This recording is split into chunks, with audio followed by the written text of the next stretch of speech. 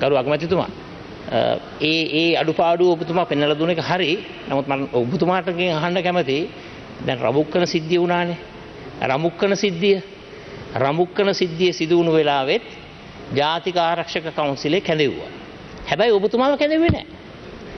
ඒක තමයි ඇත්ත කතාව. නෑ නෑ නෑ ජාත් මම මේ ඇත්ත කතා කරන්නේ. ඔබතුමා දන්නවා ඒක. දැන් නැෂනල් සිකියුරිටි කවුන්සිල් එක කැඳවලා හරිද? මේ මේ අගමැතිතුමාව කැඳෙව්වේ නෑ. ඒක ඇත්ත කතාව. ඒක තමයි ඇත්ත කතාව. හරි? ඒ ඒ ඒ ඒ වරදම කරන්න දෙන්න හොඳ නෑ. ඉතින් අපේ අර ආණ්ඩුක්‍රම ව්‍යවස්ථා සංශෝධනය ක්‍රියාත්මක කරොත් ඔබතුමාටවත් කවදා හරි දවසක අනාගතේ අගමැතිවරයෙකුටත් ගරු කතානායකතුමනි අගමැතිතුමා පැහැදිලිව ප්‍රකාශ කරනවා මෙතන එතුමාට කැඳෙව්වා එතුමාට සහභාගි වෙන්න බැරි වුණා කියලා. එතකොට එතකොට මෙතුමා මේ පුන පුනා කියන්නේ අර ඔබතුමා කිව්ව වගේ ටොම්පචයක්. හරි ටොම්පචයක් මේ කියන්නේ. හරි බොහොම ස්තුතියි රනිල් වික්‍රමසිංහ මැතිතුමා රනිල් වික්‍රමසිංහ මැතිතුමා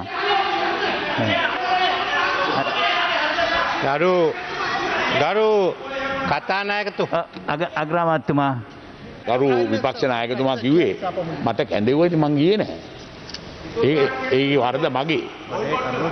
මම කැඳවුණා ඊට පස්සේ ඇන්දෑවේ මට විස්තර කිව්වා. ආ, ඒ-